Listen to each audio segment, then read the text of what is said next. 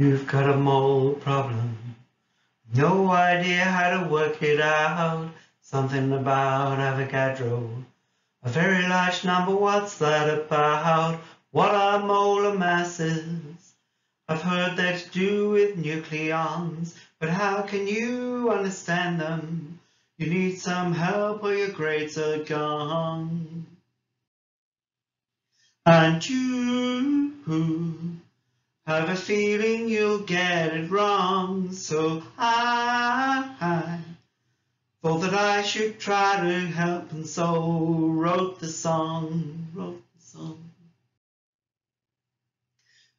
So just remember calculating, calculate the mass, mass equals moles times molar mass, the number of moles, rearrange the sum, divide gram mass by the molar mass, then you start to think that you'll get it right. Oh, you will become a mole expert who's out of sight, out of sight.